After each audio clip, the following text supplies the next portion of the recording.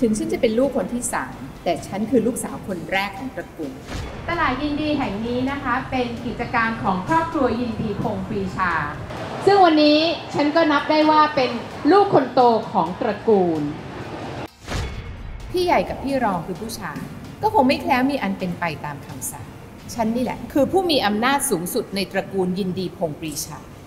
เธออย่าใจคับแคบหน่อยเลยนะไอ้เรื่องบางเรื่องเนี่ยอารมณ์อรวยหน่อยได้ไหมไม่เห็นจะต้องเป๊ะไปซะทุกเรื่องเลย แล้วมันไปเกี่ยวอะไรกับเธอล่ะ แล้วนี่บ้านเธอคนเดียวเหรอ ไม่ต้องไปนับนางเจินนะเพราะมันไม่เกี่ยวอยู่แล้ว ฉันให้ชัยวัดอยู่ ฉันไม่ยอมให้สะพายหน้าไหนมากินมาใช้มรดกของตระกูลฉันเด็ดค่ะ ถ้าจะแจกจ่ายก็ควรจะเป็นพี่น้องสายเลือดในตระกูลเดียวกันสิ